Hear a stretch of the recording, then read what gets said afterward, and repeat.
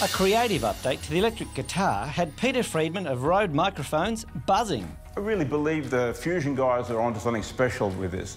A beautiful guitar, an amplifier, uh, everything to do modelling, and all updatable with the effects on an Apple iPhone. You can't get better than that. Well, this is the world's first fully portable electric guitar. You notice there's no cables, there's no amplifier. Everything's built in. You have an amp volume control here for an inbuilt amplifier, and we have speakers up here. And the really special bit, there's an iPhone dock on the top. We have different docks for different phones, interchangeable. With the iOS app here, this is an amplifier simulation of a Bassman amp. So you have all your normal controls, you have any effects that you want to put in there. It's everything a busker needs. You just take the guitar along, switch it on, and away you go. So, Sergey, there's a lot of work to get an idea right through to a finalised product. How did you get on board to work with that? One thing was it was very avant-garde in its styling. It was kind of out there. We changed the styling a little bit, made it a bit more user-friendly, a bit more approachable, a bit more like a traditional guitar. One of the first things that, that you do um, with the styling is it's, it's great to have sketches on paper and on screen, but it's not until it really becomes a 3D type of uh, a model that you, you get to feel for it.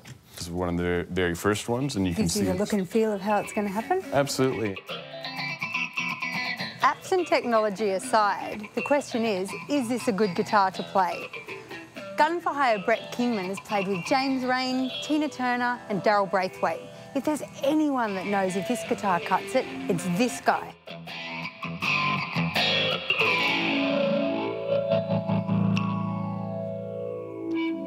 So much fun. So what do you think, Brett? I think it's an extremely clever marriage of traditional and new technology, and so it therefore deserves to be classed as a new instrument because it's got the speakers, which are really good, and a built-in amplifier. It's got standard old school uh, outputs if you want to just run it into an amp. It feels really good. It's balanced well. You know, it's just good fun. Is opening up a whole world of possibilities for existing products and giving them a new lease on life. But technology on its own is not enough. It takes innovators like those behind Fusion Guitar to really take those dreams and make them a reality.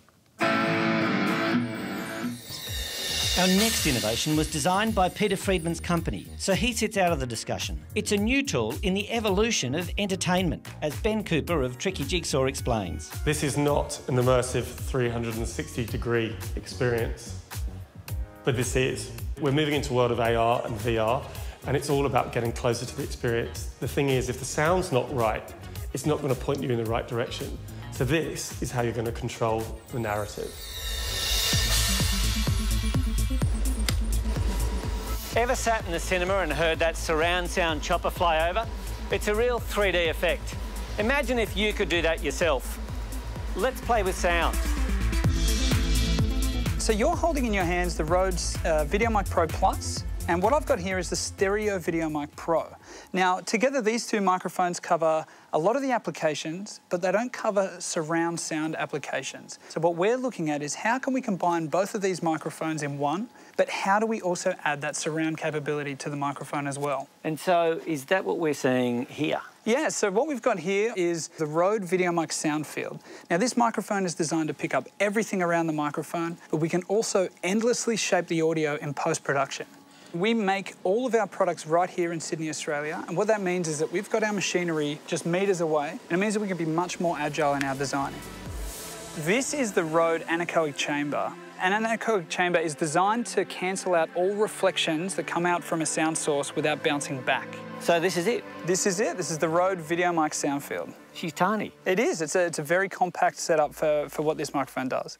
And so what are we seeing? There's microphones going four different ways. So this is called a tetrahedral capsule array. So now we need to test it.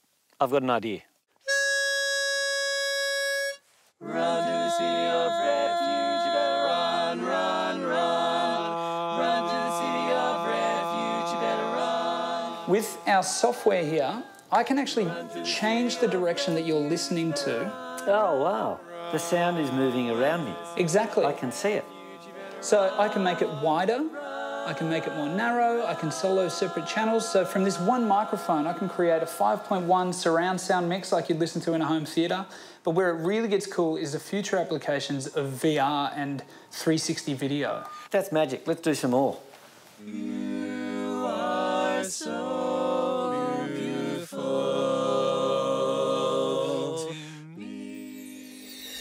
There's many measures of innovation, but I think is quite interesting with this one is that sausages were the measure. When you look at this barbecue, there's nothing radically different about it, and I think that's where the revolution lies.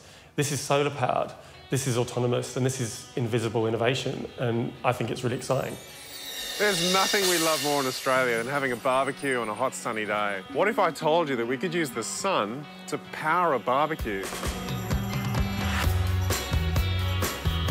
Been about 20 years of blood, sweat and tears, but it's uh, finally come to a fruition. This is actually a power station. There's enough power in here to run a small house. With solar on the roof, the battery storage, we could have lighting in the shelter and we could run park lighting. All of that could be run off this one power plant. But it doesn't feel like a solar structure. The solar panels are all hidden. Again, it just feels like any other park barbecue. We design it that way just to prevent vandalism. If people can't see it, they're not going to steal it. We looked at electric barbecues as to how much power they actually used. It was horrendous, impossible to do with solar. So we totally redesigned the plate using battery voltages instead of mains power. It would cost in the vicinity of $150,000 to get power. Just to run power here. Just to run Yeah. power. So the installation of this is a fraction of the Oh, cost. the, the whole building, everything is a fraction of the, the, the whole car, whole, whole thing here wouldn't cost that. This is actually the barbecue heating element.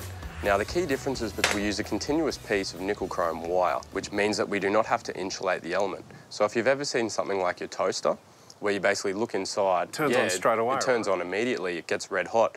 And does it get hot enough to cook a nice steak? Let loose, it'll run at over 400 degrees centigrade. I've got to cut that back to 320, otherwise we'd be charring people's food and sausages for sure. This is something you really have to see to believe. It ticks every box for good design. It's safe, it's simple, and it's sustainable. Forget that old saying, cooking with gas. This is cooking with sunshine.